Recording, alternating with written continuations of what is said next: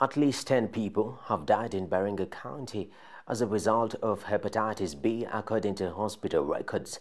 Unfortunately, most of these cases are attributed to witchcraft, hence patients seek traditional medication, ignoring the health workers' advice to have tests and vaccination.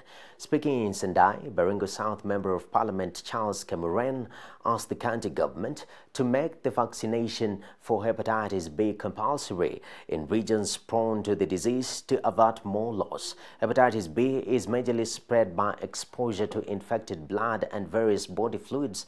It can also be transmitted through sexual interactions with infected persons as well as sharing sharp objects.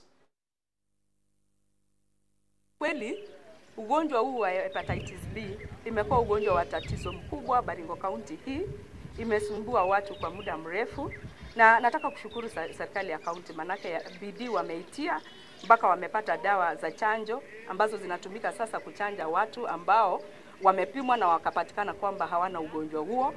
Now I think we can make this one compulsory that each and every person now should take what is needed. That is the advice from the, your, the, the Ministry of Health.